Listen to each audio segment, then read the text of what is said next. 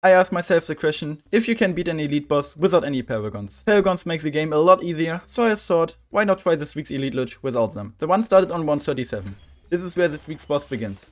I started off with the best farming method, aka 5 markets, a Bloon Trap and a rubber to gold alchemist. I farmed my way up to round 40, where I used the easiest tier 1 strategy for this week, which is an elite defender in range of the boat.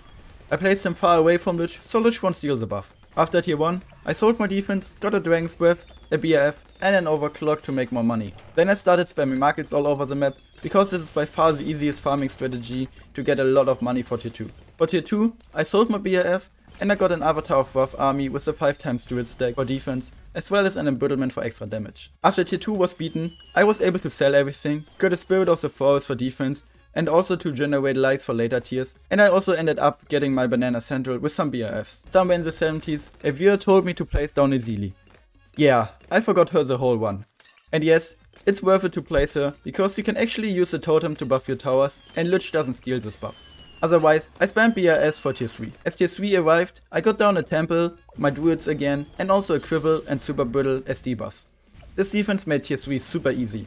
I continued farming, and now tier 4 and tier 5 are actually getting interesting, because we normally just go for paragons at this point. For tier 4, I upgraded my temple to a VTSG after failing it once. We all know that sad feeling when your temple doesn't turn into a VTSG. I got my druids and debuffs again, as well as a flying fortress. Overall, this defense ended up beating tier 4 super easily. And now for tier 5.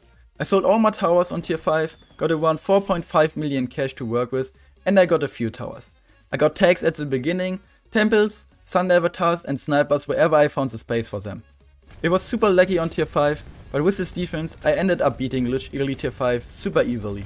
One last thing I have to add though, this week's Elite Lich was nerfed, but I'm pretty sure you can also beat a normal HP Elite boss with this strategy. Thanks for watching, I hope you enjoyed this one. If you did so, make sure to leave a like and subscribe for more content, and I see you guys in the next one.